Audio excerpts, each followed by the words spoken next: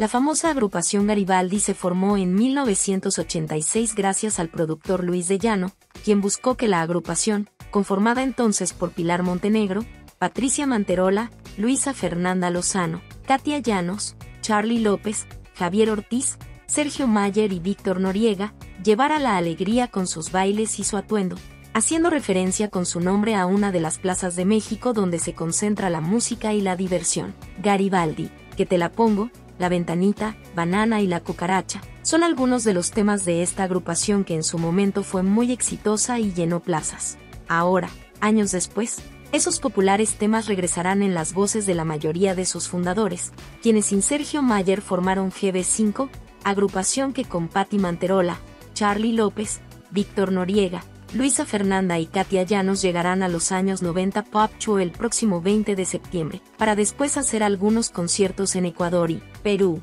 Aunque Charlie López asegura que no hay pleito con Sergio Mayer, el capitán del Team Infierno no fue invitado para que formara parte del nuevo concepto GB5 en el que se retomará la esencia de Garibaldi pero no con ese nombre, pues los derechos de este pertenecen a Sergio Mayer y a Televisa. La ruptura entre Mayer y los ex Garibaldi se habría dado por diferencias en los modos de trabajar, así lo expresó Charlie en entrevista, anteponiendo que hay cariño y respeto pero que el trabajo en conjunto ya no fue posible. Sobre esto, Sergio Mayer fue cuestionado y aunque coincidió con López en que no hay pleito entre ellos, confesó a Sale el Sol que se siente triste y decepcionado porque no lo invitaron. Me hubiera encantado que me invitaran, estoy decepcionado y triste porque no me invitaron pero nada más, expresó, y aseguró que les desea lo mejor. Les deseo lo mejor, les deseo todo el éxito porque son mis hermanitos de vida, pleito no hay, reiteró, sobre la versión que manejan los ex Garibaldi de que Mayer planea hacer otro grupo que sí lleve el nombre de Garibaldi, pero con nuevos rostros,